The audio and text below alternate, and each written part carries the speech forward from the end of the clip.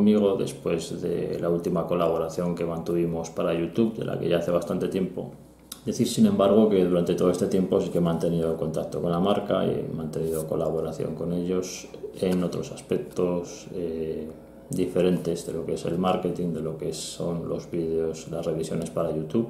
En definitiva, me han pedido que os hable de sus últimos modelos, de sus nuevos modelos, y es lo que me propongo hacer. Eh, vamos a empezar por el FH51, que aquí lo tenéis. Y en este vídeo pues lo vamos a conocer y le voy a hacer, por supuesto, unas pruebas. Bueno, pues aquí tenéis la navaja, el modelo FH51. De momento me han enviado un par de modelos. Y he querido empezar por este porque eh, después de tenerlo en la mano es el que de los dos pues más me ha llamado la atención. El otro que me han enviado es el FH31. En realidad quiero hacer un comentario breve encima de la mesa y pasar de inmediato a las pruebas. De hecho ya le he hecho la primera parte de las pruebas, le acabo de limpiar la hoja con un poco de alcohol, porque ya le he hecho una primera parte de, las pruebas que quiero hacerle. Mi interés en esas pruebas, pues por supuesto ver el rendimiento de este acero de 2, que sí que es acero de 2, en este caso no tengáis la menor duda, ha sido analizado en Estados Unidos y no solamente es acero de 2, sino que el HRC pues lo han llevado por encima de 60, entre 61 y 62 HRC, es decir que hablamos de una dureza bastante, bastante importante. Ojo por tanto con estas navajas de Firebird con hacer la, la prueba de la punta porque lo más fácil es que partan en el momento que eh, la sometáis a un poco de torsión. ¿Por qué me ha llamado tanto la atención este modelo? Pues porque me ha parecido una navaja, eh, la verdad que exquisita. Eh, no me gustaba al principio porque a mí este estilo de navaja, pues eh, su estética no es la que más me llama la atención. Este tipo de hoja, esta tipología de hoja no es la que más me, gusta. Con la punta caída, es una hoja Cliff, que no es lo que más me gusta.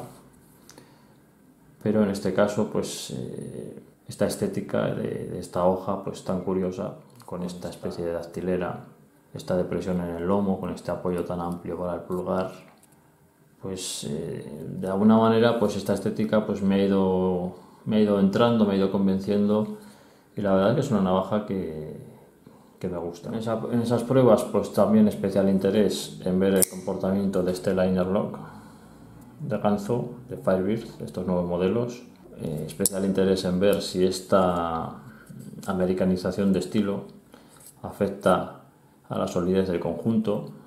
Sabéis que son navajas más aligeradas, navajas eh, cuyo principal propósito parece ser ese, ¿no? el, aligerar el peso al máximo, el aumentar prestaciones en cuanto a retención de filo, eh, dotándolas de un acero pues, de mayor dureza, obviamente como es un D2 de una acción de apertura eh, fluida, suave. Todos son modelos flippers, una serie FH, con rodamientos en el eje, con una acción de apertura pues muy suave. Todos estos modelos cuentan, por supuesto, con el clic profundo de bolsillo, una de las demandas eh, del mercado americano otra más de las demandas del mercado americano que estos modelos pues se encargan de satisfacer.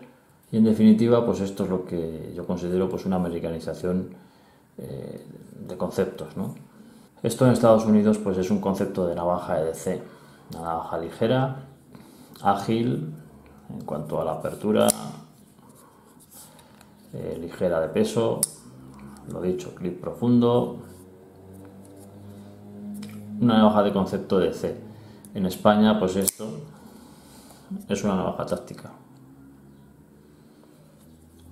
En España, pues ese concepto no lo tenemos aprendido y esto, pues, eh, se consideraría una navaja táctica. En España todo lo que no sea una navaja de apertura a dos manos, con el uñero, con el bloqueo dorsal, pues no es eh, otra cosa que una navaja táctica. Os dais un poco cuenta de, la diferencia de conceptos que hay entre un país y otro. Son modelos, eh, una línea de modelos totalmente diferentes de lo que ha sido siempre la línea de las navajas de ganzo, la línea 700, que todavía está, por supuesto, ahí eh, activa y además acaban de sacar un nuevo modelo, el 765. En esta serie de modelos, pues Ganzo pule todos esos detalles y cubre todas esas demandas del mercado americano, que es eh, a quien va dirigida, yo pienso, esta, esta serie de navajas. O es donde buscan eh, ganar clientela, ganar pues respeto, ¿no? Y creo que lo consiguen. Las navajas son de gran calidad, es decir, las terminaciones son eh, de primer nivel, indiscutiblemente. Hay una diferenciación clara en el estilo de fabricación respecto a la serie 7 de Ganzo. Esto lo que me hace pensar, lo que me hace sospechar, eh, no me lo han confirmado, ¿vale? no es uno de los eh, detalles que tenga el privilegio de conocer, pero me hace sospechar que Firebird, que Ganzo Firebird le encarga la fabricación de estos modelos a algún otro fabricante que no las eh, hacen ellos directamente en su factoría. El G10 es completamente distinto al que utiliza Ganzo en su serie 7. Es un G10 que ya se ve de más calidad. Ya me quejaba de que el G10 de Ganzo pues era un poco... Eh, la calidad era mejorable, hablando de la serie 7. Y en esta serie FH pues ya tenemos un G10 que se ve, lo podéis ver claramente en las imágenes, de más calidad a todos los detalles comentados, no me quiero extender mucho, decir que en este modelo los ajustes eh, venían impecables, después de utilizarla un poco ha perdido algo de retención de hoja, ya he comentado que previamente a la grabación de este, de este comentario he estado haciéndole unas primeras pruebas que luego os voy a poner y a continuación cuando termine este comentario pues grabaré la segunda parte de las pruebas y subiré el vídeo en dos partes. Al final pues daré una valoración de este modelo. Es una navaja que me ha parecido, como os he dicho al principio, exquisita. Exquisita en cuanto al nivel de ajustes. La hoja está perfectamente centrada después de, esas pruebas que le he hecho y que no han sido nada fáciles. No ha perdido ajuste en ese sentido y la retención de hoja mejora en este modelo. Quizás sea debido también al menor peso de, de la hoja. Mejora bastante con respecto a otros modelos de Firebird de esta misma serie, como este, que veis que con una sacudida, con unas cuantas sacudidas, lo veis, ¿no? Se abre, es decir, tiene una retención pues bastante pobre. En este modelo, probablemente debido a sus menores dimensiones, menor peso de la hoja, o simplemente a un mejor esfuerzo en el ajuste, consigue una retención pues bastante decente. Ha perdido algo de retención después de esas primeras pruebas y con el uso pues es de suponer que irá perdiendo más. Es de un tamaño más pequeño con respecto a estas otras navajas, a otros modelos de la serie FH, de tamaño más parecido a la FH21 que también la tengo por ahí. Eh, no, me la, no la tengo ahora a mano, pero bueno, la podéis ver comparada con el FH11 Ya veis que es un modelo pues, eh, de menores dimensiones, una navaja de tamaño mediano, no pequeño. Considero una navaja pequeña cuando no puedo cerrar los cuatro dedos eh, de la mano en la empuñadura. Luego os voy a poner aparte las medidas, pero como podéis ver, y el resto de especificaciones, pero como podéis ver, pues es una navaja que ya nos permite un agarre completo, total. Más, Fijaros que el tamaño es más parecido al de la Firebird F759 para que os hagáis una idea.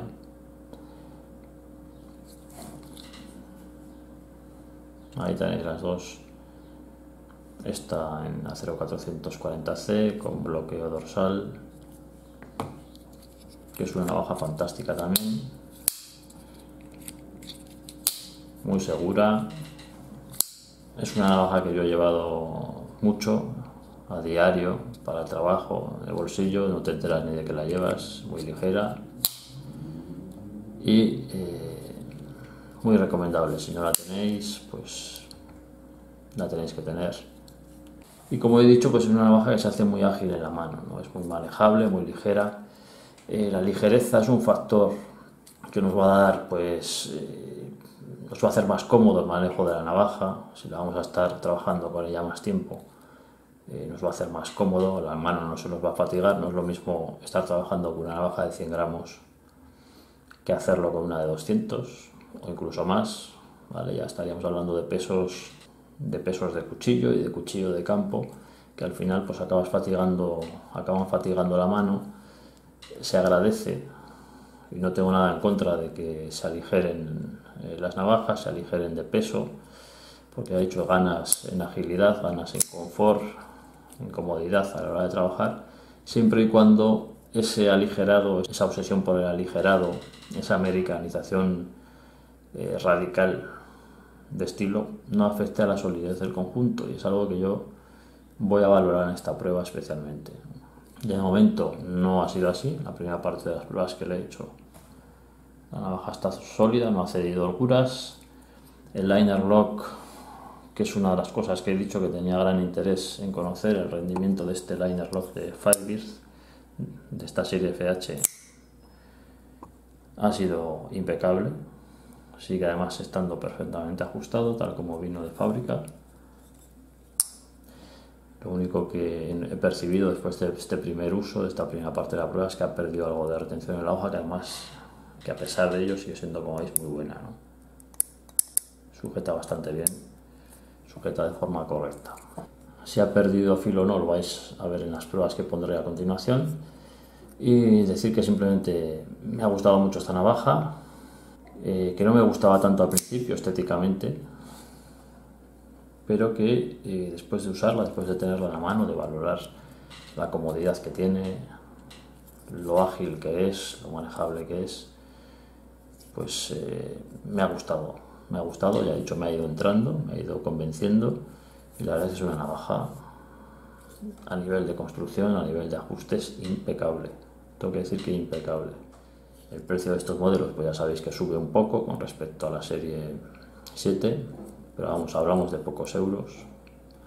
Y pienso que la relación calidad-precio sigue valiendo mucho la pena y que esta serie FH, pues bueno, a pesar de un poco de lo redundante del estilo, ¿vale? ya he comentado, flipper, rodamientos, clips profundos, liner locks, eh, navajas ligeras, como veis en este caso pues llevan los, liners insertados en el G10 y como veis además aligerados. La parte que constituye el liner lock mantiene, mantiene un buen grosor para no debilitar el seguro. Y la una navaja mm, que, que me ha gustado mucho, no sé qué más deciros. Vamos a pasar a ver las pruebas que le he grabado, que es lo que realmente nos va a decir eh, cuál es la calidad de este modelo ya os he dicho cuál es mi interés en concreto, pues ver si ese, cambio de estilo de esta serie FH, ese cambio de estilo radical respecto a la línea de las navajas eh, de ganzo, que siguen, y en especial en los nuevos, en los nuevos modelos, pues siguen manteniendo esta americanización de estilo dentro de la serie 7. Ya no estamos hablando de navajas de 150 ni 200 gramos, sino que el último modelo el 765 pues eh, también pesa 100 gramos, es una navaja también muy aligerada. Eh, y mi interés es ese, ver si eh, las prestaciones se resienten al cambiar el estilo de fabricación. Si las navajas se debilitan y si antes teníamos buenas navajas que podíamos usar en cualquier entorno, especial en la naturaleza, pues nos iban a dar un buen rendimiento, al hacer este cambio, pues pierden fortaleza, porque eso realmente sí que sería preocupante para mí, ¿no? que eh, las navajas pues eh, derivaran hacia un estilo estrictamente urbano y en la naturaleza pues ya resultaran un poco más ineficaces porque perdieran eh, prestaciones, perdieran solidez las pruebas nos lo van a decir. ¿no?